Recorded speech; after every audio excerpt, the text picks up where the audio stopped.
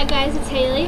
Um, today I'm going to be doing a song that I was trying to record two days ago, which was Wednesday, which was the 4th of July, and I was like, this song would be really cute to do for the 4th of July, and then like I started recording it, and I got a call from my friend saying that she was at my house, and like I had to go, so I didn't get to finish recording it, but this song was what I was going to do for the 4th of July, and um, today is the 6th, so I mean, you can pretend it's the 4th while you're watching this. But um, this is Traveling Soldier by the Dixie Chicks, and like I've been singing this song since I was a like little one in kindergarten or first grade. It was when I was like at my old school and they had a little karaoke party and I got up and I sang this song and you know had no idea what the words meant or anything but I sang it because I liked it and I still like it and it's really pretty and it's like really kind of sad, and I kind of get goosebumps whenever I sing it. And like, I don't know, it's just it's a good song. And the Dixie Chicks have a lot of good songs, so I mean, like, this has to be a good one because it's a Dixie Chicks song. So I'm gonna play the song for you guys now. And happy Fourth of July, and um, thanks to all of the people out there fighting for our country because that's what this song is about. So hope you enjoy it.